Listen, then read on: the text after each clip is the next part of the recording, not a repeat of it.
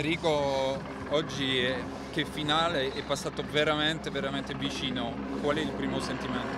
Ma ho dovuto chiudere il buco a 400 metri dai primi quattro. Ho fatto due volate negli ultimi 500 metri e ho provato a partire un po' lungo sull'ultima per provare diciamo così, a scoraggiare gli altri, però Vellens poi mi ha rimontato e io ero un po' impiantato. È andata così. Pensi che c'è stato un po' troppo entusiasmo? Hai lanciato troppo presto?